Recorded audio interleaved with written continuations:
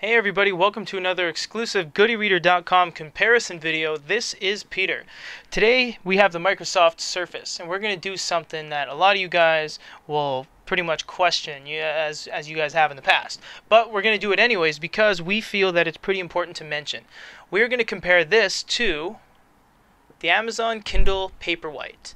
Now your initial reaction may be, well that's ridiculous because this is a five to six hundred dollar fully fledged tablet with detachable keyboard and uh, running quad core processors and 10.6 inch high resolution screen. And this is a 6 inch black and white e-reader worth about $100 reason we're going to do this is because we are a good e-reader.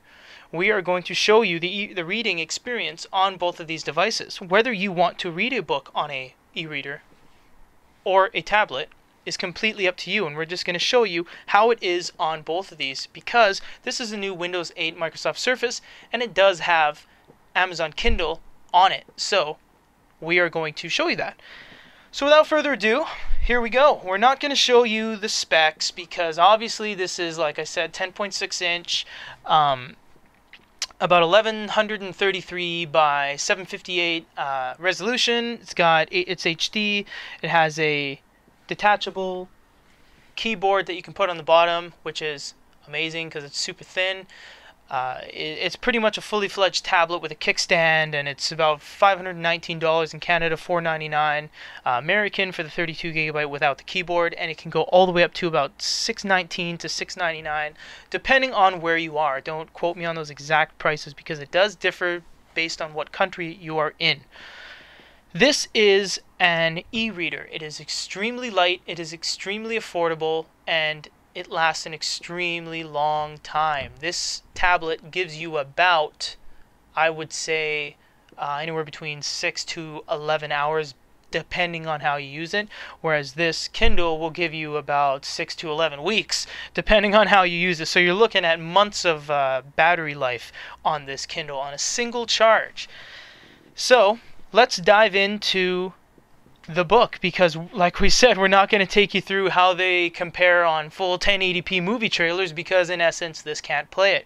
And we're not going to say oh let's compare audio because these both have audio. Oh wait the amazon kindle kindle uh, paperwhite does not have any audio capabilities. They took that off from the last kindle touch. So we're just going to go straight up to the books. These are the home screens.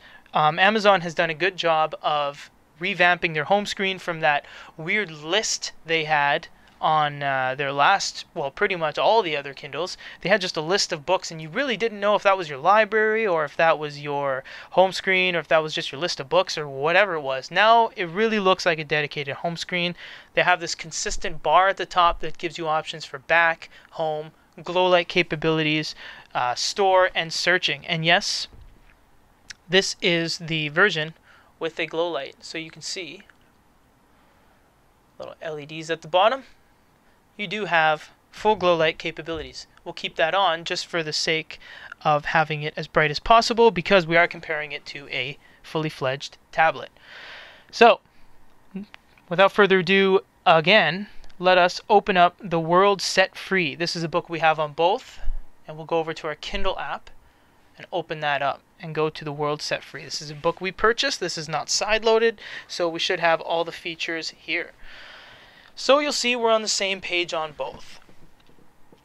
First thing you have to know is that this is an e-ink screen. This is not a backlit liquid crystal display or LCD or LED or whatever type of backlit display because it is not. This is front lit or bottom lit e-ink screen, meaning there's no, it's not refreshing, it's not running, there's no flickering that you can't see or you may catch on camera. It's not going to agitate your eyes reading this all day because it's an e-ink screen. You can see it's very little glare, very paper-esque. They want to simulate paper because that is what true reading is all about. This is a full backlit screen. So you're going to be able to play videos, you're going to be able to watch movies, you're going to be able to look at all your funny animations and stuff because this is a full color backlit screen. So let's look at these side by side. Page turn speeds, instant on the tablet because there is no sort of animation. pretty instant on the e-reader as well, but you do see how e-readers have a tendency to do that. They have to wipe away, you see, and then kind of restain the uh, image, redisplay the image onto the screen. So they're just different technologies. And you see every sixth page turn or so, you're going to get that full refresh. You'll see right there. This is to cut down on staining and ghosting and all that kind of stuff on the screen. If we click in the middle, on the top, sorry, on the Kindle and in the middle on the tablet, and we go to text. This is where we can alter our text. On the Kindle Paperwhite, you have about eight different levels of text, and it all changes dynamically and instantly. So you can go to the extremity if you have trouble seeing, you can go like that, or you can go if you have 20/20 vision or eagle eye, you can uh, crunch all your text very condensed like that. We're just going to keep it in the middle for the sake of this review on the um, on the tablet you have about five different levels and uh, you don't doesn't change dynamically on the screen. It will change in this little box up top though. So you can do that. You have different margins available as well as you do on here.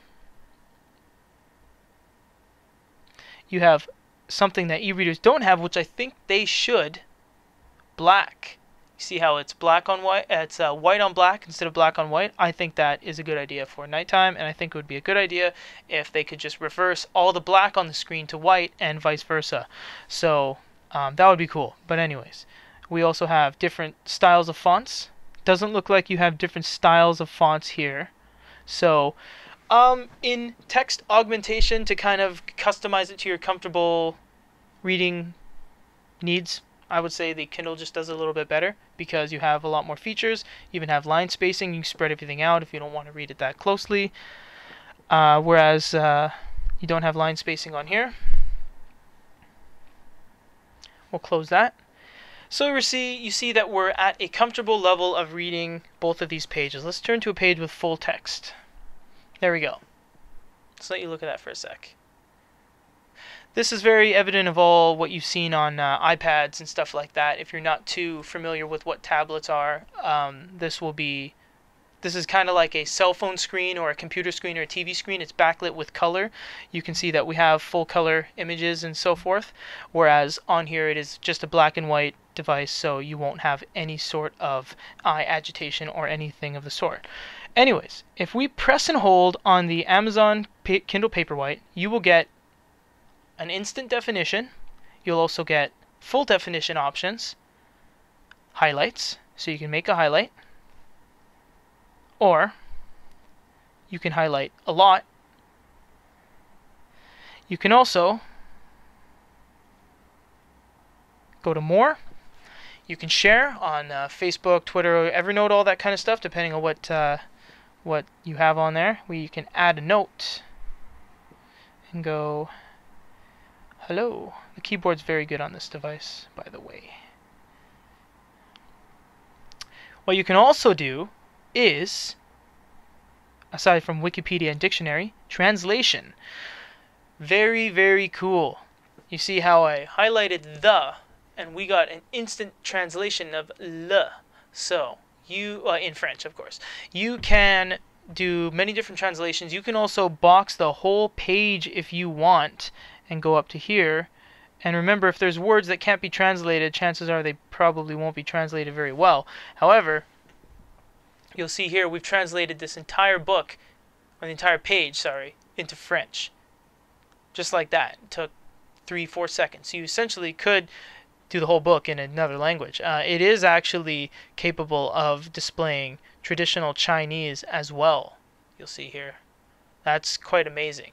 And as you see, Alexander is not able to be translated, so it's in English. However, the resolution is so good on this that you can actually display full Chinese characters because of the intricate keystrokes. A lot of the characters can't be displayed on other devices. This one can. Anyways, that is, I think, an amazing feature, and I wish more devices had that. So, can we do all that on here? Well, the answer is, of course you can. So, let's press and hold on happy. You can get an instant definition, you'll see here. Come on. Come on. Or maybe you can't. No, I'm just kidding. You can. It's just uh, taking a second there. When connected to the internet, looks like we've dropped our internet. So you can get that if you are on the internet, as you saw on the Amazon Kindle. Um, you can go to highlight. You can also grab oh there's there you go. I did have uh, internet. It just kind of wonked out on me there for a sec. Anyways yeah so you do get uh, full definition and you can get the extended definition at dictionary.com if you click that blue link. You can also highlight as we showed you. You can also grab the box of these little anchors to box as much as you want to highlight so you can see these highlights keep no matter if you change the page you can also make notes Hey.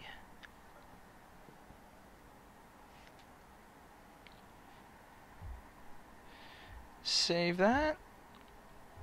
There we go. And you can also, sorry, if you swipe the side, you can share things as well. This bar on the side kind of comes up anytime you're on uh, pages such as photos, uh, books, uh, videos. It's kind of a universal bar here. You can go to settings, devices, start, share, and search. Overall, I would say, in terms of just full. I mean, it's hard to say that. I'm not, I'm not really trying to find a winner, is what I'm trying to say. It's just showing you what exactly the differences are. If you really enjoy reading a book like this, and you enjoy kind of turning pages and having it display in a fuller fashion, but holding, mind you, a 1.5 pound tablet in your hands, and you like the color, of course, like you get with the tablet, then maybe the Microsoft Surface is for you. However, I think overall, I'm no, not, I know I'm not trying to find a winner, but I would say the winner is the Amazon Kindle Paperwhite in any sort of light, you can read it because it's backlit. It has full text augmentation. You can see here, it's got a wide array of what you can do to alter your comfortability reading level. You can still do highlights, you can still do notes, you can still do, uh, um, you can still share it. Something that the uh, Microsoft Surface doesn't do, like we showed you, is go to more and we go to translation and it'll just translate that whole section in a matter of seconds to whatever language you have. So there are no boundaries with languages anymore. If you have a book in any language it can do its best to translate it to whatever language you want. And there are extensive lists of languages on here.